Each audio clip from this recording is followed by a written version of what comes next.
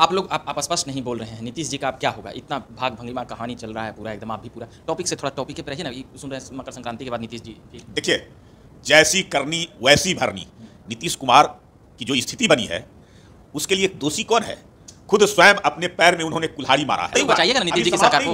नीतीश जी के सरकार को समर्थन करेगी बीजेपी? हम लोग जो है किसी सरकार को बचाने में नहीं लगे हैं भारतीय जनता पार्टी की अपनी सरकार बनाने में लगे होगा चुनाव? मान लिए कि नरेंद्र मोदी प्रधानमंत्री बनेंगे मगर बिहार का बात ना है। आप बिहार नीतीश जी से लेकर चल जाते हैं मोदी जी पे। सवाल पे पूरा ऐसे ऐसे ऐसे ऐसे मैं तो ज़िले कह रहा बना दे रहे। हैं नीतीश जी का नीतीश- बोल दीजिए नीतीश जी के साथ है या नहीं है? बिहार स्पष्ट से 40 की नहीं, 40 नीतीश जी के साथ आप सीटें नरेंद्र मोदी की झोली में और इस झोली में डालने में जो लोग साथ नरेंद्र मोदी का नेतृत्व स्वीकार करेगा उन सबका मैं स्वागत करता रहा हूँ करूँगा। नीतीश जी का स्वागत है। नहीं, मैं तो कर रहा हूँ कि नरेंद्र मोदी का नेतृत्व और 40 की 40 लोकसभा सीटें देने के लिए। अगर जो है जो भी साथ आएगा उस सब का स्वागत हम करते रहे और आगे भी करेंगे।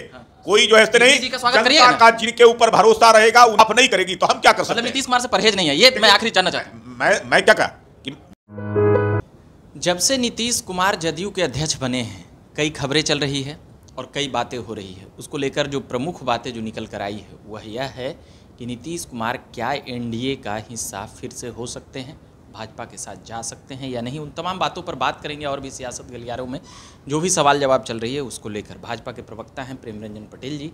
प्रेम जी क्या कहिएगा? देखिए नीतीश कुमार को हम लोग तो हटाए नहीं थे। जी। तैतालीस उनके विधायक जीते थे 2000 में। और चौहत्तर विधायक भारतीय जनता पार्टी के। लेकिन फिर भी हम लोगों ने मुख्यमंत्री बनाने का काम किया। कोई कारण नहीं था। अकारण जो है से उन्होंने गठबंधन को तोड़ा। और गठबंधन को तोड़ा तो भारतीय जनता पार्टी को धोखा नहीं दिया। ये तो उन्होंने छल करने का काम बिहार की जनता के साथ किया। जो बिहार की जनता जंगल राज से मुक्त हुआ था। और हम लोग तो पूरी तरह से जनता के प्रति जो है से संकल्पित है। मतलब नीतीश जी को फिर से भाजपा में लाने की तैयारी? नहीं नहीं नहीं। हम लोग जो है से किसी कीमत पर नहीं। हम लोग तो जनता के अनुरूप चलते हैं ना। जनता जो चाहती है वो। और नीतीश कुमार ने इस बार गठबंधन को तोड़ कर कर करके जनता के साथ विश्वासघात किया। अब जनता उनके ऊपर भरोसा नहीं कर रही है। कहा- कहा हम लोग तो जनता के अनुरूप चलते हैं। जनता जैसा चाहती है। जो बिहार की जनता चाहेगी उसके अनुरूप हम लोग काम करेंगे। हम लोगों का एक ही लक्ष्य है। चौबीस में फिर से नरेंद्र मोदी जी को प्रधानमंत्री बनाना। उसके लिए 40 की 40 लोकसभा सीटें भारतीय जनता पार्टी की झोली में मोदी जी को बिहार से देना। ये पूरा लक्ष्य जो जो जो विषय और बातें हैं नीतीश कुमार का स्टेटमेंट था बीच में कुछ ही महीने पहले छः महीने कि विजेंद्र यादव और ललन सिंह लाए हैं और पिछले बार अशोक चौधरी और उन लोगों ले गए थे उनको भाजपा की तरफ़ और इस बार ये दोनों लाए। तो नीतीश कुमार तो ये बोल के बच जाएँगे ना कि हमको तो ये दोनों लेके चले गए थे। नहीं, तो फिर फिर आप लोग फिर आप लोग। भाई लाए थे लेकिन वही दोनों व्यक्ति ने जो है से उनकी पार्टी को तोड़ने का भी तो काम कर रहे थे। लगातार जो है से इस लालू यादव से मिल कर कर करके नीतीश को अपदस्थ करने में उनकी सरकार को गिराने में विधायकों का एक अलग गुट तैयार कर करके उनको तोड़ने में लगे हुए थे। यही तो न थे ना। सारी बातें मीडिया में आ गई ललन सिंह तो बोल रहे हैं कि हमारे खिलाफ जो भी खबरें चली है हम उसको संज्ञान में लेंगे और मानहानि का मतलब दावा करेंगे। मानहानि को मीडिया पर क्यों कर रहा है? मीडिया का क्या गलती है? मीडिया को तो जो स्रोत मिलेगा जो खबरें मिलेगी वो मीडिया चलाएगी। करना है तो नेताओं पर करे। हम लोगों ने कहा है कि ललन सिंह तोड़ने का प्रयास कर रहे थे। कोशिश में लगे हुए थे कामयाब नहीं हुए। लेकिन लालू यादव से तो उनकी मिली भगत थी। ये तो जदयू के एक एक कार्यकर्ता कहता है। पूछ लीजिए। और नीतीश कुमार को अंतोगत्वा ललन सिंह को क्यों राष्ट्रीय अध्यक्ष से हटाना पड़ा? कहीं ना कहीं ये मामला था। ये लोगों को पता था। और नीतीश कुमार भी जो ऑपरेशन करते हैं तो किसी को खबर नहीं होती है। वो ऐसे ऑपरेशन करते हैं उनको लगता है कि हमारी पार्टी को तोड़ने का कोई प्रयास करे और नीतीश से अलग नीतीश को अपदस्थ करने का काम और नीतीश से अलग कोई नेता बनने का काम करेगा तो उसको नीतीश कुमार बर्दाश्त नहीं करते हैं। जब जॉर्ज को नहीं बख्शे शरद यादव को नहीं बख्शे जया जेटली को नहीं बख्शे आरसीपी को नहीं तो ये ललन सिंह कौन गली में थे? तो ललन सिंह को तो हटना ही था जब उनके पार्टी को अपदस्थ करने में एक गुट बना कर कर करके तेरह चौदह विधायकों का बैठक उसकी बैठक को ही बजाते। उसमें ललन सिंह थे कि नहीं थे ये बातें जो है से हो सकती है लेकिन बैठ के हुई है ये सारी बातें तो सामने आ गई। तो नम्मा देने तभी दीजिए नाम नाम नाम आप लोग बता दीजिए सबको। नाम हम क्यों बताएँगे? जदयू से पूछ लीजिए सबको पता है उनको मालूम है क्यों तेजस्वी यादव जरा पूछिए तो कि तेजस्वी यादव इनके यहाँ रात में जा जा करके कई घंटों तक जो है से गुफ्तगू क्यों करता था इनके घर पर जो है से? किस लिए? बिना सिक्योरिटी का बिना किसी को बताए बिना कोई कारण रात में दस बजे ग्यारह बजे बारह बजे? तो कोई ना कोई बातें थी ना। नीतीश कुमार से अलग। नीतीश कुमार को धोखे में रख करके नीतीश कुमार को झांसे में रख करके रात के अंधियारे में जदयू को समाप्त करने की और तेजस्वी यादव को मुख्यमंत्री बनाने का नीतीश कुमार को समाप्त कर करके। ये तो चल रहा था साजिश। नीतीश जी बीच में धर लिए यही ना। आप लोग भी आरसीपी सिंह के साथ ये आरोप लगता है कि विधायकों को तोड़ रहे थे। ये उस समय तो आरसीपी सिंह को फिर हटाए कोई आप लोग कोई आरोप नहीं और उसमें कोई दम नहीं था। आरसीपी सिंह उस पार्टी के राष्ट्रीय अध्यक्ष मंत्री बन गए थे। मंत्री बनने की चाहत ललन सिंह रखते थे और ललन सिंह मंत्री नहीं बन सके इसके कारण दोनों में झगड़ा हुआ। खुन्नस था आरसीपी सिंह से कि आप मंत्री हो गए और मैं मंत्री नहीं बना। तो इस खुन्नस में उनके ऊपर आरोप लगा रहे थे। ये कहीं कोई जो है से उसमें कोई दम नहीं था।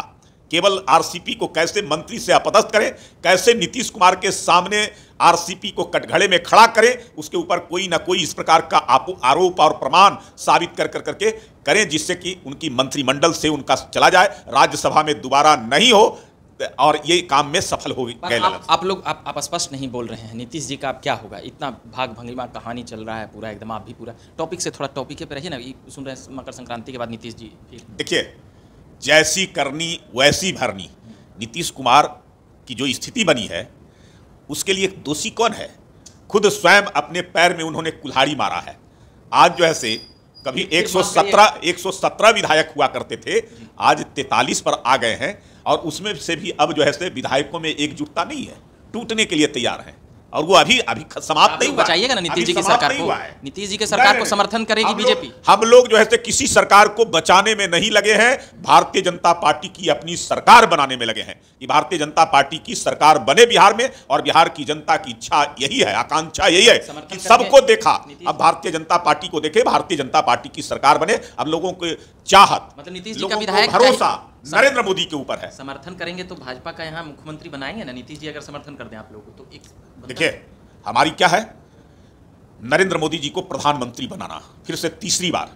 और इस बार जो है से भूतो न भविष्यति आज तक जो है से कभी नहीं हुआ है।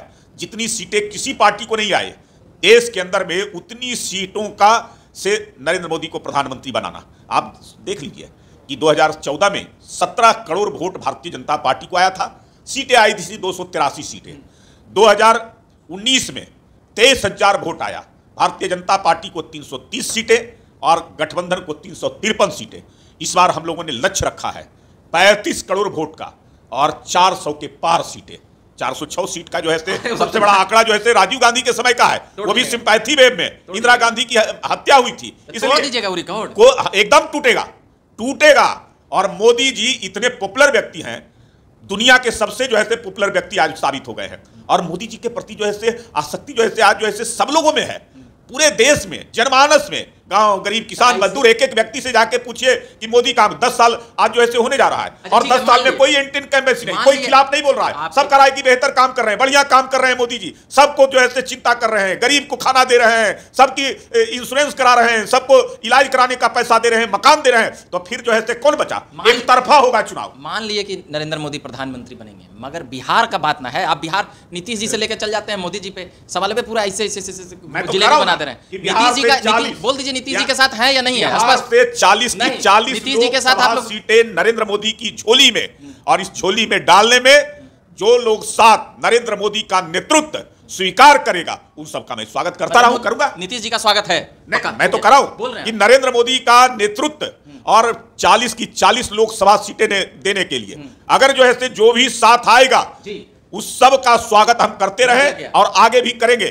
कोई जो है नहीं जनता का जिनके ऊपर भरोसा रहेगा उन्हीं लोगों को हम साथ लेंगे। और जिनका जनता का भरोसा टूट गया जनता जिनको जो है माफ़ नहीं करेगी तो हम क्या कर सकते मतलब हैं? नीतीश कुमार से परहेज नहीं है ये मैं आखिरी जानना चाहता हूँ। मैं मैं क्या कहा कि मेरा जो है सो एक ही लक्षण है देश का नव निर्माण और देश के नव निर्माण में मोदी जी आवश्यक है फिर से प्रधानमंत्री नीतीश जी भी आवश्यक है आप लोगों के लिए, बिहार तो के इतनी सीटों से बने जिसकी कोई कल्पना भी नहीं किया है और उसके लिए 40 लोकसभा सीटें बिहार से मिलना है उसमें जिन लोगों का साथ देना होगा जिन लोगों का समर्थन करना होगा जिसके सहयोग की आवश्यकता होगी सबका हम लेते रहे और जो आएगा जो देगा साथ मोदी जी के पक्ष में मोदी जी के साथ खड़ा होगा देश के हित में उन सबका साथ लेते रहे लेंगे। अब साफ़ हो गया प्रेम जी बोल दिए हैं प्रेम रंजन पटेल जी हैं और बीजेपी के प्रमुख प्रवक्ता हैं और पूर्व विधायक भी रहे हैं।